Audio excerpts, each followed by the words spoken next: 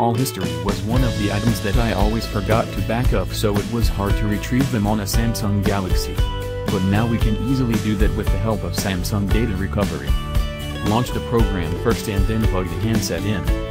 If you have not yet ticked USB debugging in setting, this interface can be seen and it asks you to enable USB debugging which is based on the Android version.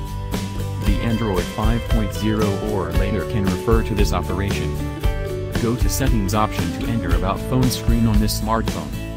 Tap Build Number button for 7 times until you see you have enabled development settings or you are now a developer. Go back to Settings page to find out and click Developer Options. Tick the box in front of USB debugging or Android debugging. Eventually, confirm it with pressing OK.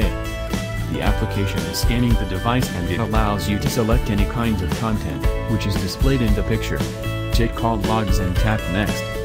On the bottom right, Samsung Data Recovery will start to analyze the phone. And, after a while, you will see this window, meaning you should go to your device and press allow or grant when a super user request pops up. The next step needs you to be patient. The result is shown as the following. Click Call Logs to see the details on the right. The black color represents existing items, while the red one means the deleted data. The incoming, outgoing or missed records can be seen. You can make use of the switch on the upper left to view deleted history only.